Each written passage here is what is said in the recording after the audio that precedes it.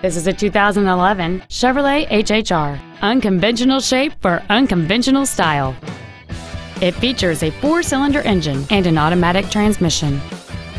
Features include a low tire pressure indicator, traction control and stability control systems, cruise control, variable valve timing, OnStar, an anti-lock braking system, side impact airbags, latch-ready child seat anchors, a split folding rear seat, and this vehicle has fewer than 36,000 miles on the odometer.